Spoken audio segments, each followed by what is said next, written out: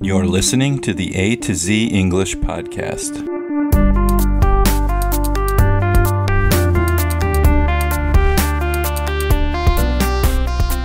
Welcome to the A to Z English Podcast. My name is Jack, and today I am back with another episode of This Day in World History for January 3rd.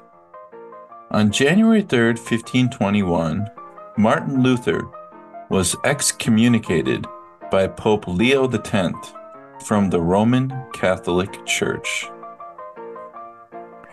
On January 3, 1777, General George Washington's army defeated the British at the Battle of Princeton during the American Revolutionary War. On January 3, 1959, Alaska was as admitted as the 49th U.S. state. On January 3, 1961, the United States severed diplomatic relations with Cuba.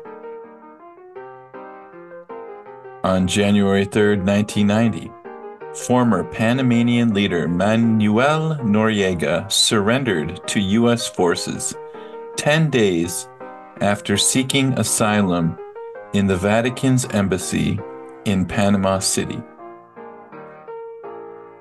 On January 3, 2009, Israel withdrew its troops from the Gaza Strip, officially ending a three week war with Hamas.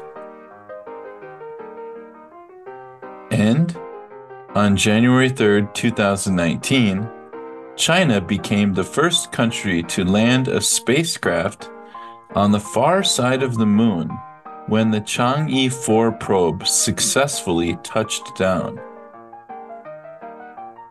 And these events represent a mix of political, military, and scientific occurrences which occurred on January 3rd throughout history.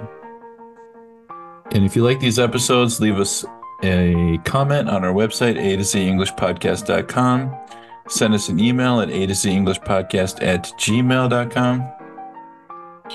You can join our WhatsApp group or our WeChat group by clicking the link in the show description.